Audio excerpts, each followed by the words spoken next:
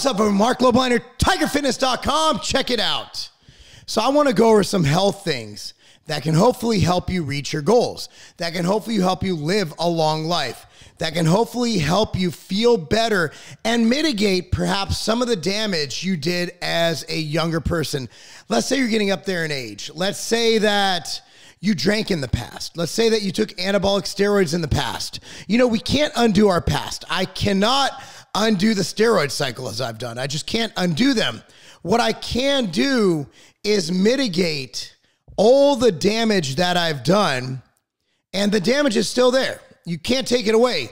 But how do you move forward and stop the damage or potentially eradicate or alleviate some of the damage that was done? Can we do that? Well, bottom line is we know that the body likes to heal, right? When smokers stop smoking, their lungs literally clean out over time. Are they as good as someone who never smoked before? No. Do they get better? Yes. As far as livers go, let's say you took a lot of oral steroids or you did a lot of drinking in college. At the end of the day, your liver is very resilient. So, what I want to go over is how do we build health as we move forward from our past? Or how do we, if we're currently competing in bodybuilding or whatever, how do we mitigate some of the risks that we are taking by using these steroids? How do we, if we like to go out drinking on weekends, how do we mitigate some of that alcohol use? And I already went over, I did a video on my metabolic panel. Here it is right here. And all my levels are normal from AST to ALT. My glucose is 95, my insulin is 1.6, AST is 31, ALT is 31. Everything is within normal range. Now, people will argue that athletes, especially like AST and ALT, don't need to be in normal range. I argue that maybe not, but why can't we aim to be in normal range? If we can be in normal range for the general population and do the epic, cool things we do, building big muscles, training really hard, even if you're a natural lifter, you're you're you're literally beating your body up to the point where it alters your liver enzymes. So how can we mitigate that to make that less stressful in the body? Right away, I said this in the last video. Everybody should take Ambrosia Nektar every single day. It's the greatest organ and overall health product ever created. Okay, that's number one. Everybody should take that daily. If there's only one supplement you buy, buy Ambrosia Nektar. So today I'd like to go into my lipid profile, and I'd also like to talk about social media idiots and how we are completely screwing the pooch, completely dropping the ball on doing what we should be doing. That's helping people healthy, stay healthy, and reach their goals at the same time. When in reality, we just have a bunch of scumbags who just want to clickbait. Now, there are good channels. I believe that a lot of the information Greg Doucette gives out is actually very healthy information, like main gaining. While I don't think it's the most optimal way to gain, he's telling people not to get too fat. I think that's great. Derek at More Plates, More Dates, very smart individual, talks a lot about mitigating health issues. So, my lipid panel, let's go over it now. I'm going to post it on the screen. Here it is. My cholesterol 183, normal range is less than 200. Triglycerides is 45, 0 to 50 is normal range. HDL is 44. The uh, greater than 40 is normal range. Non HDL is 139. 0 to 160 is normal range. LDL is 130. 0 to 130 is normal range. LDL is a little bit high. But as someone on TRT, as someone who eats a lot of red meat, this is, I'm happy it's in normal range. That means that something I'm doing, whether it's drinking enough water, whether it's exercising, my low intensity cardio, my high intensity cardio, my adequate sleep, which I do get most of the time. Some some weeks I, I do lack due to work um, obligations. And Nektar. I'm telling you what, Nektar. I also take MTS Nutrition Ox Bile, MTS Nutrition Immortal. Those are the main ones, you know. Um, uh, nutrient driver with berberine helps tremendously. Cholesterol to HDL is 4.2. Normal is 0.0 to 5. So what I'm getting at is we while the carnivore guys, and I got a lot of flack for saying this in the last video, my last post. The carnivore guys say that if you're on a ketogenic diet, I believe Dr. Shawn Baker posted his LDL was somewhere in like the 270 or something. It was crazy high. And he said that, well, if you're eating like this, you shouldn't care about LDL. And a lot of doctors with new data say that LDL doesn't matter. And I'm not going to argue with that. Again, not my area of expertise. What I do know is that when I go get blood work, I aim to have nothing red. When you get something out of normal range, it turns up red. It comes up usually red, or it'll say a big H next to it, right? That scares the living shit out of me. Now, that might be ignorant, but when I get blood work done, I want everything to be normal. And if you notice, my doctor, Dr. Kurt at Hormone Health and Wellness, look at all this blood work. For example, my prostate, my PSA is 0.37, normal range is 0 to 4. Again, Ambrosia Nektar has ingredients for prostate and bladder health. You know, you go through all this stuff, right? You got um, folate. I even test folate. Normal range is 4.8 to 24.2. Result is 20 right? Sex hormone uh, binding globulin. Result is 15. Normal range is 10 to 50, right? So you go over all of this stuff. T3, normal range is 2.3 to 4.2. Result is 3.7. And I do take Armour Thyroid um, from my doctor. Um, I'll link him down below. Anyone in the USA can use my F, my free T4, 1.4. Normal range is 0.9 to 1.7. You know, I go over all this stuff and my IGF, even though I supplemented with the HGH, my result was 157. Normal range is 52 to 328, right? So my Z score is 0.2. Normal range is negative 2 to 2. So what I'm getting at is as influencers, as people with a platform, we should be aiming to help people not die. Period.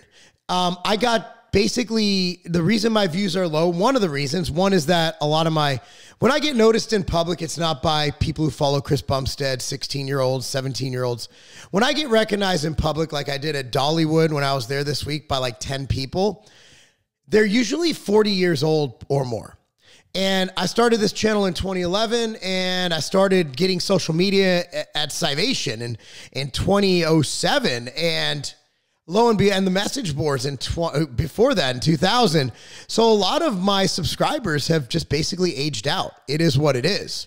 So when i look at when i look at like everything i do like when when the uh, pandemic hit i was the first one to come out and say hey i don't know what this thing is before it even had a name but you know what vitamin d might not help but it can't hurt and for that, I got shadow banned by these lovely people at YouTube, which it's their right, I guess, their platform, whatever.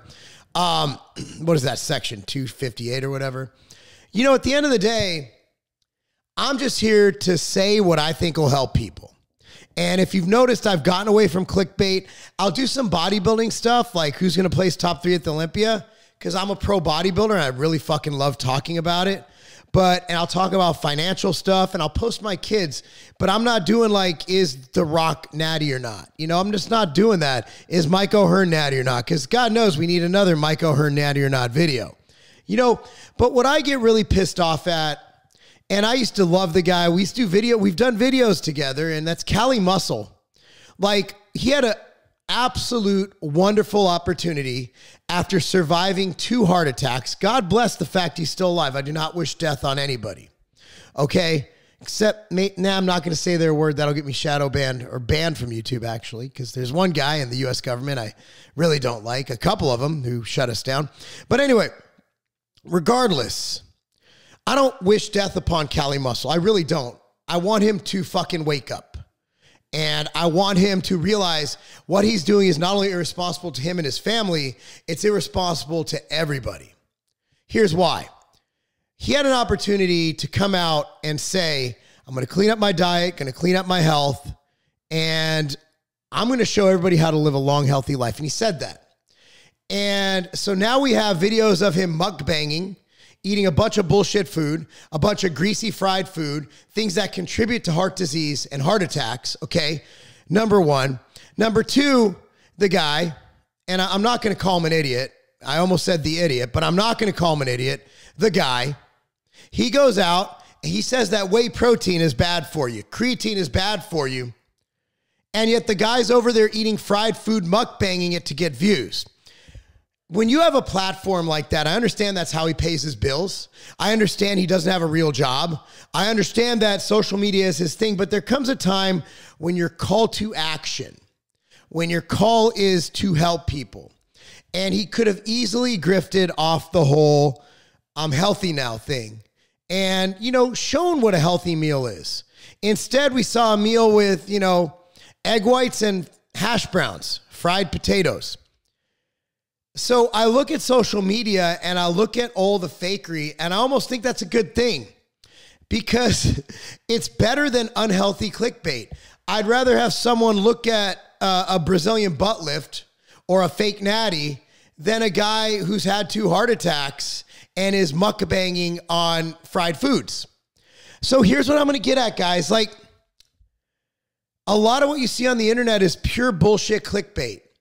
And you should be following people that are helping to enrich your mind, enrich your body, enrich your soul, enrich your knowledge, learn new things, political channels that help you learn, political channels perhaps that help you learn history, help you learn about our laws, our constitution. If you're in another country, about your country's laws, your constitution, so you know what you're dealing with.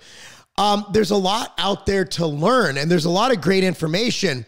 But entertainment takes over. Same reason sometimes I switch on to Spotify and listen to Lil Jon go, oh, skeet, skeet, skeet, skeet, instead of listening to a podcast by Andrew Huberman or Joe Rogan where I can actually enrich my mind.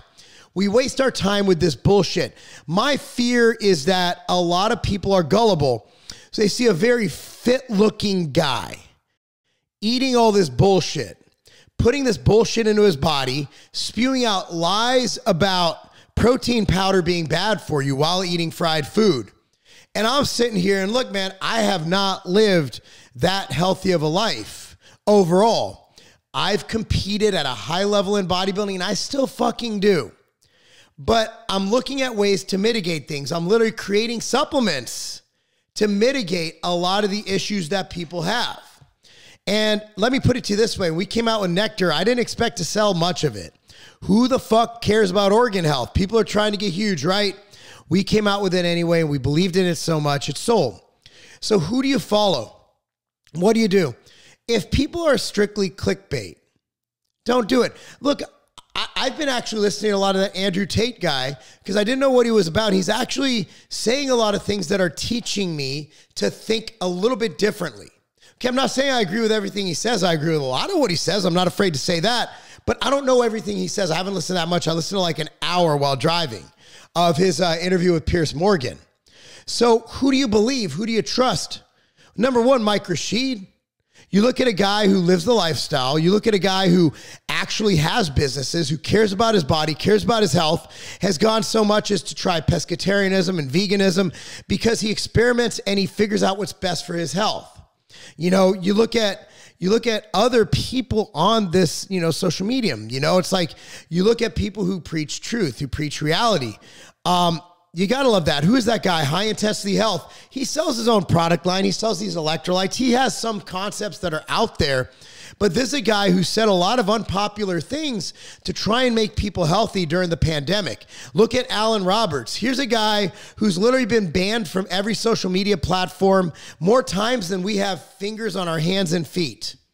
And yet he keeps coming back because he really, really, really look, Alan, if he's not my best friend, he's damn close. I'll tell you this. He really fucking cares. So who cares? I'll tell you who cares the people I surround myself with fucking care because I'm not going to surround myself with douchebags. Chris Jones, he cares. He cares. He might be out there, but he truly cares about his people, he calls them, right? Or what? I forgot what he did. Something like that, right? Like, so you look around, there's plenty of opportunities to get great information out there. And as social media channels, whether you're at a 100 followers or a million or 10 billion, your sphere of influence is large relative to what the average person on the street has. So it should be our goal to help people, number one, clickbait bullshit, and I have done it. I've done eating challenges. I've done all that. There's nothing wrong with that as long as you simply state that this is just fucking fun stuff we're doing because we can't all live perfectly, right? We're, we're gonna we're gonna have French fries. We're gonna we're gonna have a drink here and there, right? We're gonna you know we're gonna pour some liquor out for the homies, but at the end of the day, the overall message we need to we need to convey is that of health and positivity. But what what frustrates me and the reason why I was so excited to be able to get current blood work and post it is because I talk a lot of shit. Because I'm out here and I'm telling you guys a lot of things that are, are to do with health, right? I tell you how to, you know, that some things will help you have better health markers. I tell you that you should pay attention to your blood work. I tell you that you should see your doctor. I tell you that you can do TRT or HRT if you need it and you're under doctor supervision. I just don't tell you to, to grab the largest vial and syringe you see and inject in whatever body part you can find with enough room to inject in because everything we do in life has consequences. Whether it's steroids, whether it's aspirin, whether it's alcohol Every choice we make affects our day to day, affects our long term, affects if we live till 70 or 90. So, our goal here, since this is a health and fitness channel and we are in the health and fitness arena, other than some business stuff I love to put on here, is we need to educate people on how to be better. So, if you are a fitness influencer and you're posting videos for clickbait of you eating fried food, you know what? That's that's your right to do it. Mukbang videos get great views. Um, I personally think they're disgusting. Who is that guy? That avocado fucker. Whatever. Um, at the end of the day, I think that we all owe to everybody following us some truth and honesty. And a lot of people don't have the genetics. Some people have long health genetics. And I'll tell you what, you know, when I got skin cancer, first thing I did is I, I was talking about okay, what, what can we do to mitigate this? How can I get this message out to people? How can I get as many people to get screenings as possible? That was my first goal. Now, if you have a heart attack, your goal would be to educate people on how not to get heart attacks. It wouldn't be to go to Church's Chicken and a pizza joint and sit down with black gloves on and eat like a pig because that's what sends people to the hospital. That's what causes heart disease. That's what causes heart attacks. Is people overindulging. Obesity is the number one comorbidity for every fucking disease. It's gonna be a part of why you die assuming you die of natural causes. If you're fat or you smoke, I can guarantee you that those will be the causes of your death, unless you fall out of an airplane or get hit by a fucking car or struck by lightning. That's what's gonna fucking kill you, most likely. You're watching these videos in the fitness space. You're watching these videos to improve your appearance, both inside and out and for a little bit of entertainment. So the minute we put entertainment before the other two is the minute we've lost the plot. And that's the minute that everybody within this community should stand up and say, hey, you're full of fucking shit. And that's my opinion. I mean, what the fuck? I've already done a video about this. What the fuck have we become as a YouTube fitness community? We got fitness influencers pulling knives on each other. We got fitness influencers playing like they're gangbangers. I know you might have been a gangbanger in a past life, but right now, y'all are just dudes walking around with a guy with a camera following you. And you're lifting weights and making videos and entertaining people. You know, the days from the streets, I mean, if they're still there, it's not the same. Like, you can't go on YouTube and expect to be in an arena with actual doctors and Dr. Layne Norton and all these people. We're not gangbangers. I'm not a gangbanger. I'm a fucking businessman who happens to be in the health and fitness arena, who happens to be a pro bodybuilder. But I'm not gonna go for this, yo, yo, yo, West Side, West Side, I'm gonna fuck you up, I'm gonna stab you, I'm gonna shoot you. Maybe Marc and his teens would have been down with that. But right now, if we're gonna battle, it's gonna be in court because that's where I'm at in life and y'all are in your fucking 40s. grow the fuck up. So there's there's that. Um, for more information about everything I've talked about, you know, comment down below. I usually read the comments. And of course, subscribe to this channel, like this video, click on the notification bell. And remember, that's not a game.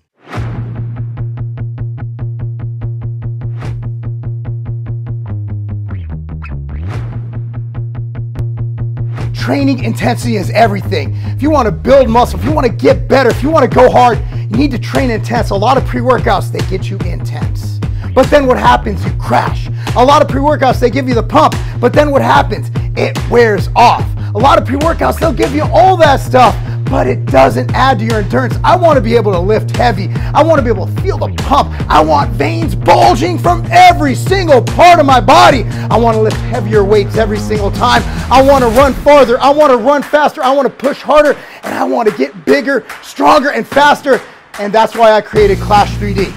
This pre-workout is next level, featuring 3D pump, Vasodrive AP, and a lot of other epic ingredients. Guys, this is the pre-workout that you need to take your workouts and your performance and your physique to the next level.